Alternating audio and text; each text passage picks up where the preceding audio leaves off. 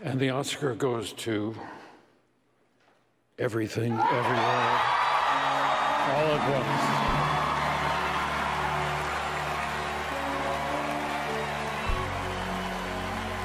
Once. Nominated for 11 Academy Awards, Everything Everywhere All at Once won seven Oscars tonight for actor in a supporting role, actress in a supporting role, original screenplay, film editing, directing, actress in a leading role, and best picture.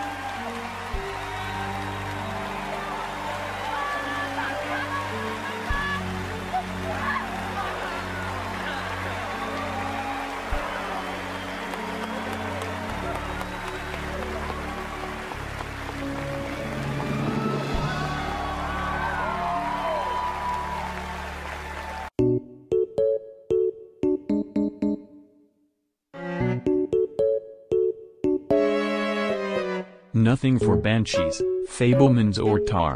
Who would have guessed that in late August? Weird Oscar season. That's what you get when you expand the members to 9,000 and invite kids that doesn't watch movies and only vote for the most popular movie on social media. I, I think there will be a little backlash in the, in the coming months uh, ahead simply because it won so many awards. I think that if it had only won, what are you shaking your head for? If, if it had won three awards like Coda or Green Book, people like might. I, I think it won too many awards. Like, is it on the level of a network? No, it's not. This isn't an all-time classic, timeless movie. How, like, come Yes, on. Yes, it is. No, it's not. Yes, it is. I think so too. I, I think think we- so we've too. already covered the fact this is one of the all-time like classic movies. Like, Oh, if it- yeah, if- without, without a doubt. I, I can't even mm. count the amount of times I've watched and rewatched this movie. It gets stronger and I find new details every single time. We've already brought up the fact that it's probably going to be in film school classes in Yeah. the future. And and I, I think exactly what we were talking about earlier in the episode is going to be true in, in the, the years and years to come. There was never any backlash because this movie was so belo- like what is not to love about this film? And I think that's only going to remain. It won seven Oscars. It won the most above the line Oscars of any movie ever in the history of the Academy. Do you That's think? great. Do you honestly think that this is the best acted movie in the history of film? Jeff, I'm asking. I, I love the film. I think it's. Dream. You I- can all love the film and say it's a great film and say it's the best film of the year. I want to talk about the lar- forget this year. Let's talk about all time. This won more above the line Oscars than any movie ever. Okay, Does it so deserve to be that movie? I'm gonna I'm gonna answer that question with this comment. If if you're gonna compare apples to apples here, so everything everywhere, uh, Streetcar Named Desire, Network. Which movie am I gonna watch right now? Which movie would I go to? I'm gonna go to Everything Everywhere All at Once. That's simple. That's simple. I mean, he- Jeff's not responding, so I'm assuming. How can you even respond to a point like this? Like, uh. In five years, nobody will watch Everything Everywhere All at Once. The movie is made. It is over long, 2 hours 19 minutes, confused, and generally bizarre. In fact, nobody has watched a single Best Picture winner five years later since 2007's No Country for Old Men. Well, the, the Oscar winner last night, the big Oscar winner that took everything home, was Everything Everywhere All at Once Forever for, for the rest of time. That movie ended up winning Best Actress for Michelle Yeoh. It ended up winning Best Picture. Um, it ended up winning also, I believe, did win Best Director? I think it won Best Director as well. Uh, it won Best Director. Uh, it, it basically swept. Now, the reason that it swept is because it, it fulfills two intersectional check boxes. It fulfills the Asian intersectional checkbox, and we already had Parasite that one a couple of years ago, so we've done that. But it's it's a very gay movie. Everything Everywhere All at Once is is a very LGBT movie. Uh, it, it has the, the the main storyline is essentially an Asian immigrant mom who's working really hard and ignoring her family, but she has to learn that that her lesbian daughter's girlfriend should be introduced to grandpa, who has to be taught to accept the, the, the new ways of the world. This is a tactical mistake by Hollywood because in five years, nobody's going to be watching everything everywhere all at once. It's just not going to happen. It's going to be a movie like Birdman or The Revenant. You know, things where in the moment people are like, oh man, that's a great movie. And then no one ever watches it again. I know that critics fell in love with this movie. Again, I, I think I know the reasons why, but it is not, it's not, Top Gun was clearly the phenomenon of the year. The fact that there were so many people who were opposed to Top Gun was a quasi political statement. It was sort of along the lines of this piece from MSNBC called Top Gun Maverick is the most insidious movie at the Oscars. This is from Zeeshan Alim, who said that it is a it's insidious because it is very much in favor of the American war machine as a beacon of virtue and excitement. It's a poisonous kind of nostalgia, one that smuggles love of endless war into a celebration of live action. I think that's that that is one of the kind of subtle reasons that Top Gun had to lose uh, because it was just it was kind of too pro America. It wasn't allowed to win. Perhaps the worst Best Picture winner in the history of the Academy Awards. A tedious and pointless movie. Mildly amusing at certain points, but that's the absolute best thing that can be said about it. It was a weak year for Oscar movies, so Everything Everywhere All at Once winning Best Picture might not be such a surprise. It was inevitable after its PGA. DGA, and SAG triumphs that it would be showered with Oscar gold. Don't kid yourselves. Despite A24's brilliant artifice of marketing, its film shouldn't have won any awards last night, especially with Tar. The Banshees of Inisherin and Triangle of Sadness part of the nominees. What A24 has basically been able to do is make the post-screening experience just as interesting as the film itself. People will watch something like Everything Everywhere All at once and then go straight to social media, sharing memes, gifs, tweets of the film. The actual screening experience gets lost for branding. Oh, and look, you can also buy those damn hot dog fingers on A24's online store. Cinema The idea of turning a cinematic experience into something you can meme is concerning and not far off from the marketing ideas behind Marvel or Star Wars. Being an A24 fan now is a status, a kind of cult that, to the total obliviousness of the fan, removes them from the cinema. Michelle Yeoh, who grew up in a family of immense power, wealth and privilege in Malaysia, is now a symbol of repressed female heroism in the industry. Yeoh beating Cate Blanchett's all-timer of a performances will not be looked upon kindly in the years to come. The minute Viola Davis and Danielle Deadwyler complained about racism and not being nominated, you just knew that the lead actress Oscar was yours for the taking. Academy voters uttering to themselves, let's make amends for our sins.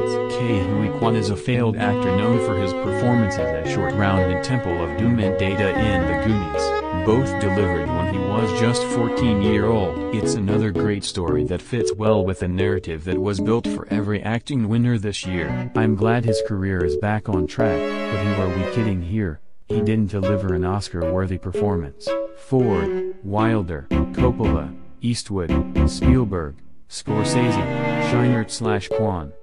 A rich tradition of Oscar-winning filmmakers got shaken up last night as the industry tried to have you believe that the hipster duo known as the Daniels gave us the best directing of any movie last year. Yes, even in a year where Todd Field, Martin McDonagh, David Cronenberg, Jordan Peele, Ruben Östlund, Steven Spielberg and even Damien Chazelle delivered ambitious endeavors. In fact, as a commenter wrote last night after the show, zero Oscars for Tar.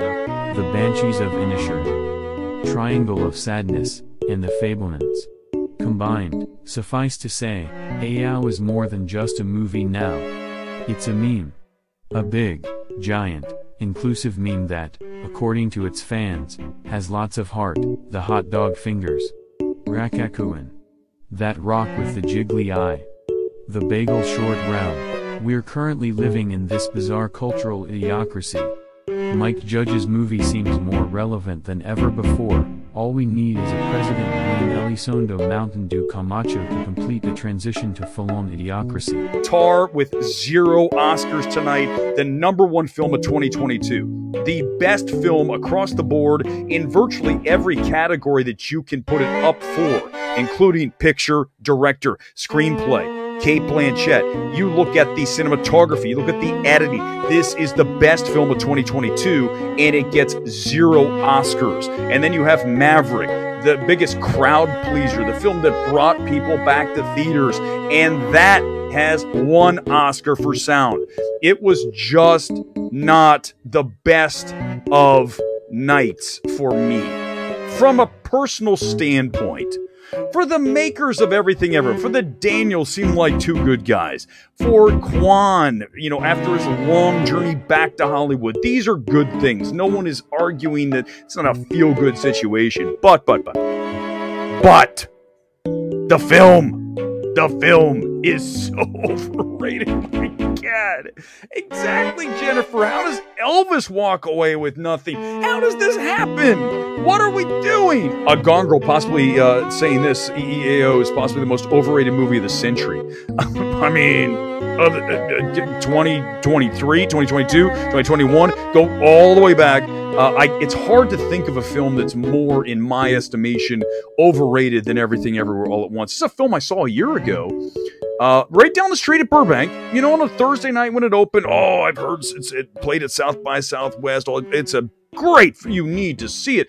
And the thing about Everything Everywhere that's so frustrating is it is a good film up until about the 145 mark, and then we get into that repetition and it just destroys it. So I know a lot of you, but look, see, this is the beauty of this film. It's so polarizing, right? So you have those who don't love the film, like myself, don't hate it, just don't love it. And then you have people like Vault of the Future here saying they love it, they're glad. So it's very much a polarizing film, which I can relate to. I feel like that describes me. I'm kind of polarizing. Either love or you hate. It is what it is. Hopefully, you love more than hate. After years of spreading their awards around, the Academy has showered a piece of multiverse Marvel mulch with seven Oscars. The membership changes of recent years are also now showing a different motivation among the members. Fraser, Yeoh, Curtis and even Ke Huy Quan are all the beneficiaries of day sentimentality and general emotional cappuccino froth over real coffee and perceptive judgment. The more I think about it, the more I laugh. Top Gun, Maverick was really normie heaven, and represented everything that made most people feel good about movies. The oldsters loved the genteel, except for the bloody finger stubs, and traditional banshees. The younger generation loves Elvis. RGHG? Cineasts are obsessed with tar, and plebs anxious about World War III are gripped by All Quiet on Western Front. So the rubes tune in and watch their favorite films lose as they listen to some director extolling the virtues of drag shows for children, and all of their suspicions about Hollywood and the Oscars were confirmed. This was the last straw for normies and mainstream audiences, I suspect. They will completely give up. As someone said, this is not an event with any relationship to us, or even worthy of attention anymore.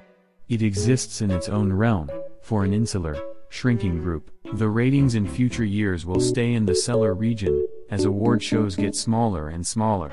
Strange as this may seem, the cable has blanked out and I have nothing but Twitter and the trades to rely upon for news of the final Oscar outcome. But a filmmaker friend has just written me, The Death of Cinema. The Al Baddies have stormed the Bastille.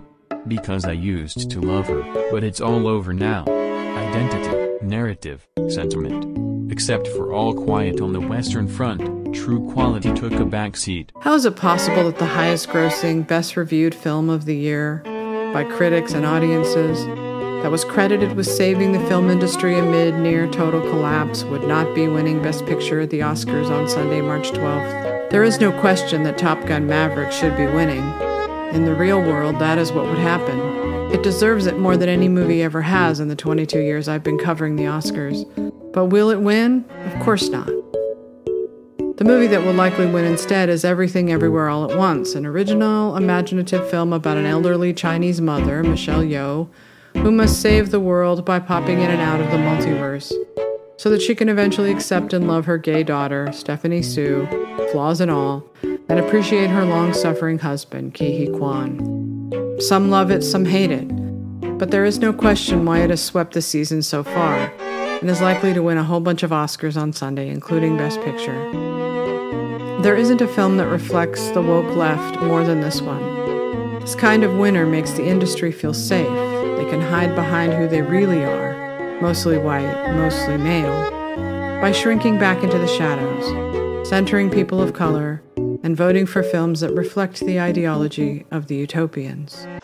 I mean, come on now.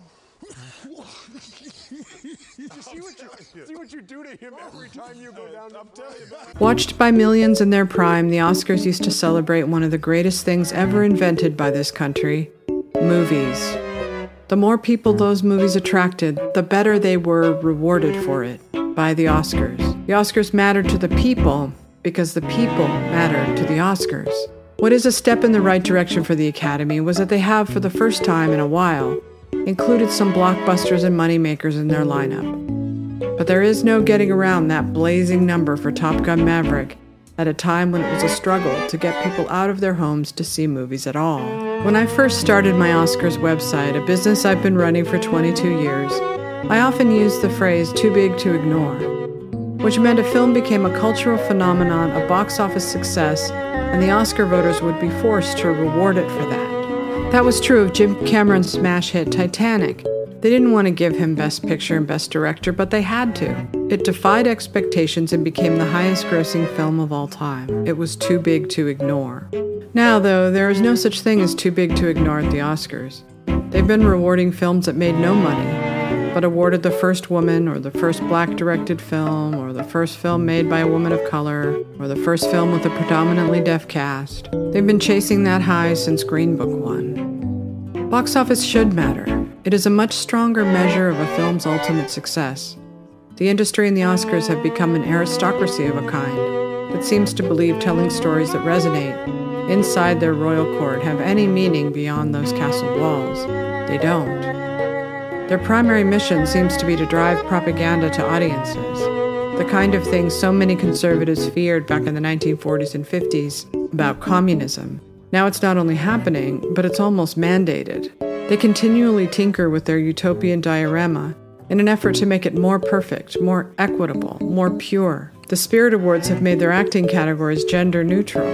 The British Film and Television Academy was so plagued by accusations of racism, they mostly eliminated the privilege of their own members nominating the acting and directing categories, opting instead for a committee to handpick equitable choices. The Golden Globes were canceled after being accused of racism in a mass hysteria event on par with Salem in 1692. They are slowly scrabbling their way back after changing up their memberships and their rules. And the Oscars have an inclusivity mandate set to take effect in 2024. The already wokest of woke industry that is currently experiencing a kind of no white men for any jobs ever has in place official policy to be inclusive in front of and behind the camera for a film to even qualify for the Oscars. Every speech is either a sermon or a plea for absolution. Every win is a way to say, see, we fixed the problem. Everyone is supposed to applaud along like they don't know everyone is voting for people of color so that they don't look like racists. Is that fair to the winners? What kind of an honor is that if their main purpose is to shield voters from attacks and make them look good? The explosion at the end of Jaws was unlike anything any of us ever saw. It gave us deep satisfaction to what was not a real shark at all, but a supernatural evil impossible to destroy. Jaws turned out to be a foreshadowing of the 1980 election. It wouldn't be that surprising that five years later, America would abandon the left almost completely and vote for Ronald Reagan, whose strong leadership was something everyone, by then, craved. But Jaws didn't win Best Picture either. One Flew Over the Cuckoo's Nest won instead. The ultimate movie about a lost man. Could the embrace of Top Gun Maverick be a foreshadowing for our future as we all begin to seek the strong leadership we've been missing? Who's to say?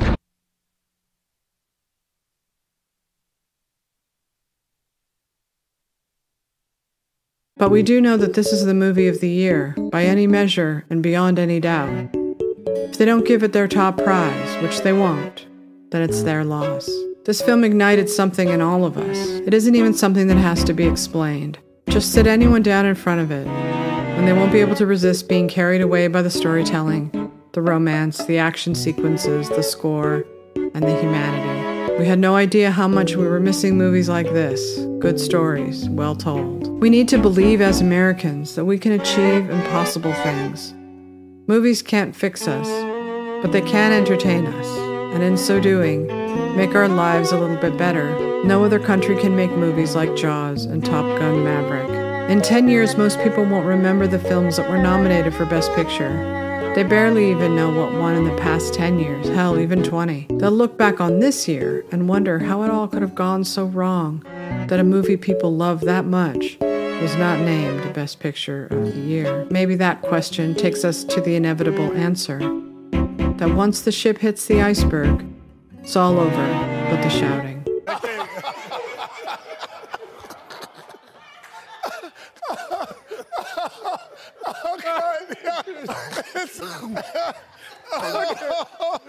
Oh my god! Look at this! You got me crying, man. Oh.